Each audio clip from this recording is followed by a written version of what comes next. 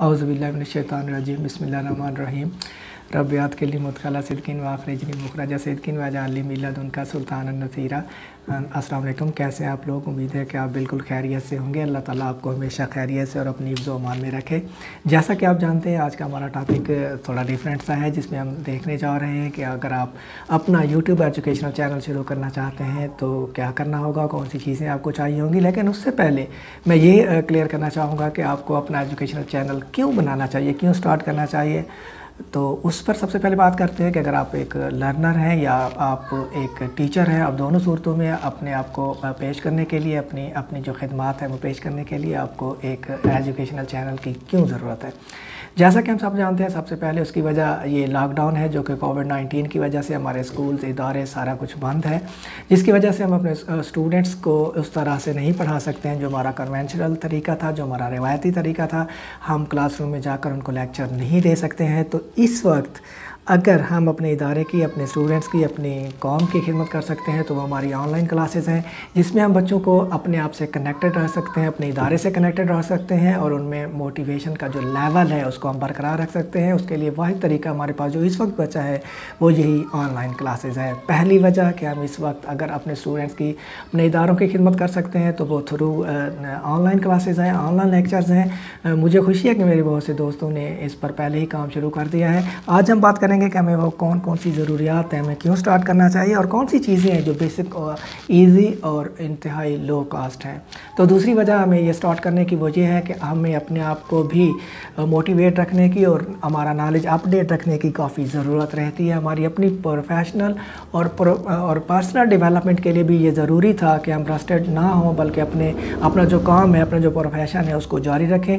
ज़ाहरी बात है जब हम वीडियोज़ बनाएँगे जब हम लेक्चर को रिकॉर्ड करेंगे तो उसके लिए हम रिसर्च करेंगे, हम अपने नॉलेज हम अपना जो सब्जेक्ट है उसको रीड करेंगे बार बार उसको दोहराएँगे।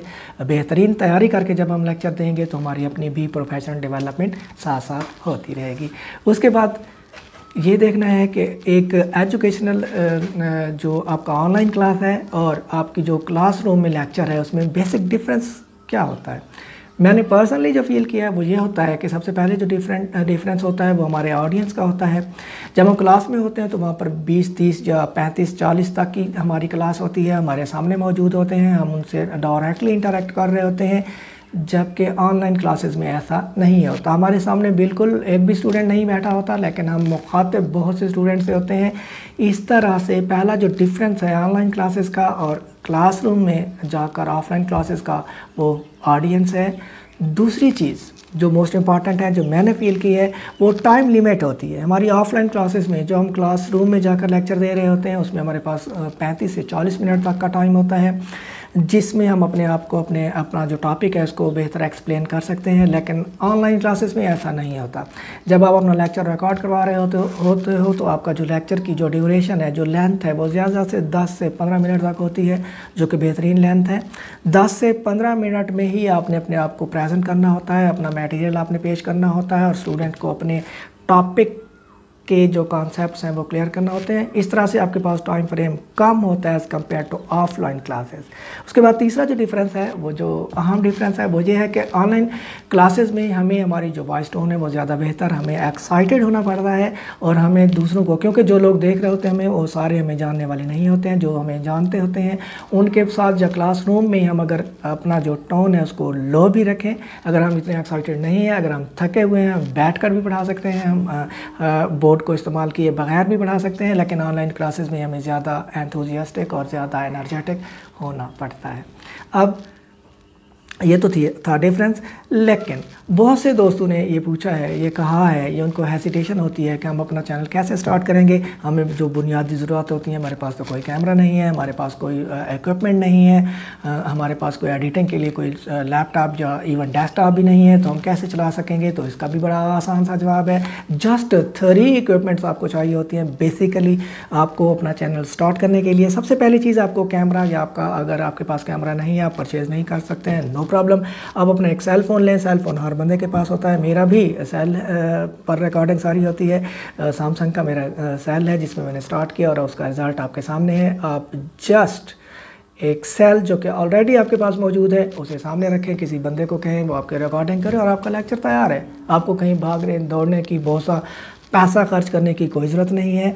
अगर आपके पास एक सेल है तो it means you can start your own channel right now अब दूसरी चीज़, दूसरी इक्विपमेंट जो हमें चाहिए इक्विपमेंट चाहिए होती है, वो होती है ट्राईपोर्ट जिस पर ये स्टैंड है, जिस पर आप अपने सेल को या अपने कैमरे को रखते हैं फिक्स करके ताकि आपका जो हाथ है वो हिले ना, आपकी जो पिक है वो बिल्कुल ठीक है, वो अपने आप को सस्टेन रख सके।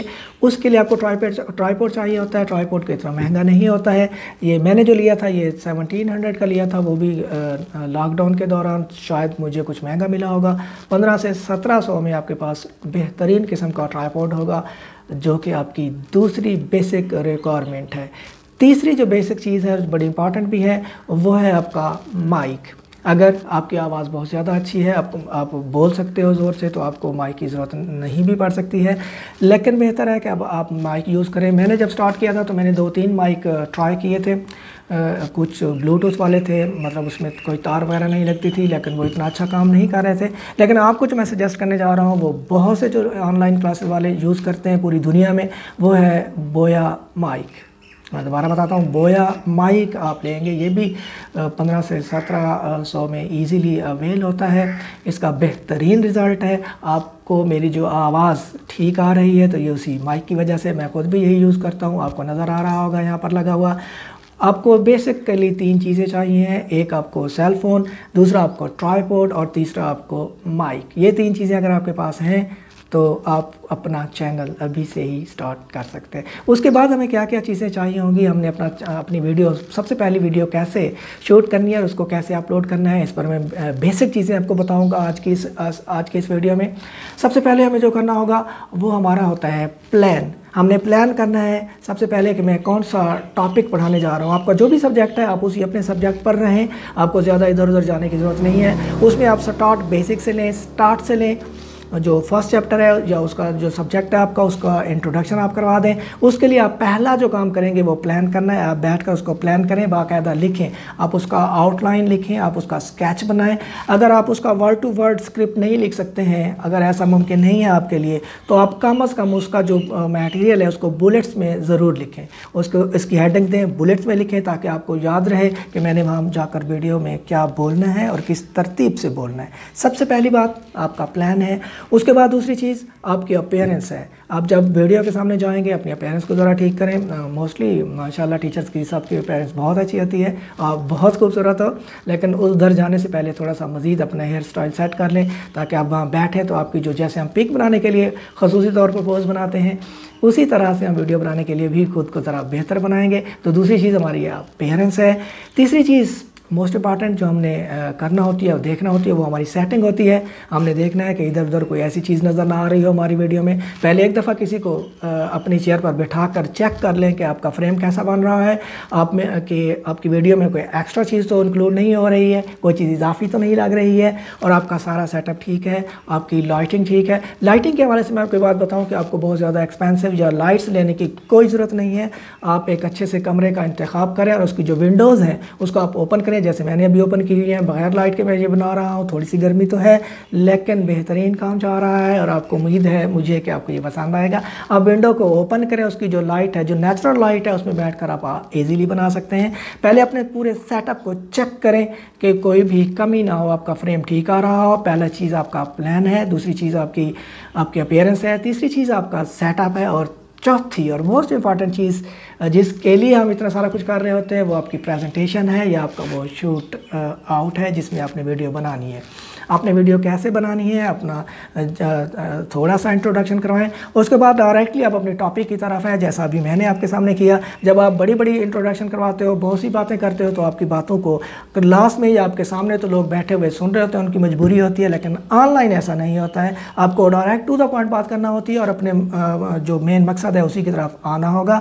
लेकिन उसके साथ साथ ही आपको जो लर्निंग का और टीचिंग का बड़ा इंटरेस्टिंग और शानदार एक्रोनिम में रूल है। वो मैं आपको बताता हूँ कि वो क्या है। वो है के आई डबल एस किस किस क्या होता है?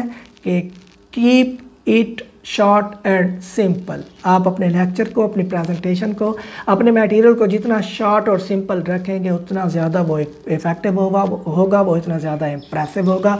बहुत ज़्यादा लंबी छोड़ने की ज़रूरत नहीं है। टू द पॉइंट बात करें शॉर्ट एंड सिंपल रहें। और अपनी बात को बेहतरीन तरीके से नेचुरल अंदाज में आप उसको एक्सप्लेन करें। बहुत से टीचर्स को मैंने देखा है जो ही कैमरे के सामने आते हैं। बड़े सीरियस होकर बैठे होते हैं। बोलने का अंदाज भी उनका नेचुरल नहीं होता, क्योंकि मैं उन्हें पर्सनली जानता होता हूँ तो वो आम तौर पर बोलते हुए बहुत अच्छा धीमे अंदाज में और बड़ा एक्साइटेड होकर बोल रहे होते हैं। लेकिन जो ही वो कैमरे के सामने आते हैं, उनकी टोन लो हो जाती है, जो कि एक अच्छा शगुन नहीं है। आप किसी को कॉपी करने की ट्राई बिल्कुल ना करें। आप जैसे हो, वैसे नज़र आओ। आप जो नेचुरल हो, वो बेहतरीन हो। क्योंकि अल्लाह ताला खुद फरमाता है कि मैंने इंसान को खूबसूरत तरीन पैदा किया है तो हमें एक दूसरे को या दूसरे की कापी करने की कोई ज़रूरत नहीं है। नेचुरल रहें, अपने बेहतरीन जो आउटपुट है, जिस आप आप क्लास में देते हैं वहीं से स्टार्ट करें कोशिश करें पहली वीडियो में आप वो वाला टॉपिक सेलेक्ट करें जिस जो आपका इंटरेस्टिंग हो जिसमें आपको अबूर हो जो आप कई दफ़ा पढ़ा चुके हों जिस पर आपको पता हो कि मैं इस, पर बहुत सा बोल सकता हूँ आपकी कामयाबी की यही सबसे पहली पहला स्टेप होगा कि आप खुद क्लियर हों क्योंकि वह कहा जाता है कि जिसको खुद क्लियर नहीं होता जो खुद नहीं समझ सकता वो दूसरों को कभी भी नहीं समझा सकता। पहले खुद उस टॉपिक को समझें बेहतरीन अंदाज में उसको ऑर्गेनाइज़ करें एक तरतीब के साथ एक सीक्वेंस के साथ उसको जैसा कि मैं बता चुका हूँ प्लान करें, उसके बाद आप बैठ कर अपनी जो वीडियो है, उसकी लेंथ भी आपको बता दूँ कि 10 से 12 मिनट तक लेंथ ही आपकी वीडियो होनी चाहिए। इससे कम भी ना और इससे बहुत ज़्यादा भी ना हो और आपका जो स्क्रिप्ट है, आपका जो मटेरियल है, वो कहीं भी बोरिंग ना हो, ताकि स्टूडेंट या कोई भी देखने वाला उसको दो मिनट देखने के बाद आपकी वीडियो को छोड़ के चला ना जाए। ये थी आपकी प्रेजेंटेशन उसके बाद जो मेन चीज़ आती है नेक्स्ट स्टेप जो आता है, वो आती, वो होती है हमारी एडिटिंग एडिटिंग में एडिटिंग में हमने क्या करना होता है कि हमने उसको ट्रिम कर सकते हैं हम उसको हम उसको कट कर सकते हैं, हम उसमें जो चीज़ें ज़्यादा हैं, जो बोरिंग हैं, उनको हम काट भी सकते हैं. लेकिन एजुकेशनल चैनल में ये ईजी बात ये होती है कि इसमें ज़्यादा हमें एडिटिंग करने की ज़रूरत नहीं होती. है आपका जो लेक्चर होता है वो सेम टू सेम वैसे ही आप अपलोड कर सकते हैं. लेकिन अगर आप चाहते हैं कि उसमें कुछ टेक्स्ट का इजाफा करें, उसमें आप कुछ फूल कलियाँ लगाएँ, उसको कुछ थोड़ा सा खूबसूरत बनाएँ तो उसके लिए आप एडिट खुद से करना सीख सकते हैं। ये दो दिन की बात होती है। आप उसके लिए मुख्तलिफ़ ऐप्स आते हैं। फ्री ऐप्स हैं जिनको आप इंस्टॉल करके आप खुद ही एडिटिंग कर सकते हैं। मैं जो इस्तेमाल करता हूँ वो वीडियो मेकर है। उसमें आप जाएँ, बड़ा सिंपल है। और वो फ्री में भी है। उसको इस्तेमाल करना भी बहुत आसान है टीचर्स के लिए ख़ास तौर पे क्योंकि हमें इतनी कमांड नहीं होती है आईटी पे। तो जो वीडियो मेकर ऐप है, आप उसको इंस्टॉल करें और अपनी वीडियो आराम से, आसानी से और तसली से बैठकर खुद एडिट करें। उसके बाद आप उस वीडियो को एक्सपोर्ट करें और उसके बाद बिस्मिल्लाह करते हुए उस अपनी वीडियो को अपलोड कर दें। और the most important thing that I want to share to you is don't expect too much बहुत ज़्यादा तो ना रखें कि जो ही मैं पहली वीडियो अपलोड करूँगा, उस पर बहुत ज़्यादा व्यूज़ आ जाएँगे, बहुत ज़्यादा बल्ले बल्ले हो जाएगी, ऐसी बात नहीं होती है। ख़ास तौर पे जब आप एजुकेशनल वीडियोस बना रहे हो तो उस पर जो व्यूज़ होते हैं, वो ज़रा लेट आते हैं, क्योंकि उसकी वजह भी यही होती है कि जो एजुकेशनल वीडियोज़ होते हैं, वो एजुकेशन से रिलेटेड लोग ही जस्ट उनको देख रहे होते हैं, जबकि जो दूसरी वीडियोज़ होती हैं, वो बहुत ज़्यादा लोगों के लिए इंटरेस्ट का बाइस होती है, बहुत ज़्यादा लोग देखते हैं। अपने आप को कंपोज रखें कंसिस्टेंट रहें और पेशेंट रहें। आपका जो चैनल है वो इंशाल्लाह ज़रूर ग्रो करेगा। अगर आप चाहते हैं कि आपकी वीडियोस बेहतरीन हो, उनकी क्वालिटी अच्छी हो और अगर आप चाहते हैं कि आपका जो चैनल है वो ग्रो करे तो कमेंट बॉक्स में अपने चैनल का नाम बताइएगा। मैं आपके चैनल में जितनी सपोर्ट हो सकेगी, जितना मैं जानता हूँ, आपको ज़रूर आपसे शेयर करूँगा। मैं चाहता हूँ कि आप सब मिलकर हम हम इस, जो प्रोजेक्ट है ये जो काम है, इसको हम मिलकर चलाएँ और अपने और अपने स्टूडेंट्स के लिए और इस मुल्क और कौम के लिए फ़ायदे का बायस बने। अगर आप हमारी इस टीम को ज्वाइन करना चाहते हैं तो इस चैनल को सब्सक्राइब करके आप हमारे इस टीम का हिस्सा बन सकते हैं। अपना बहुत सा ख्याल रखिएगा। अल्लाह हाफिज़।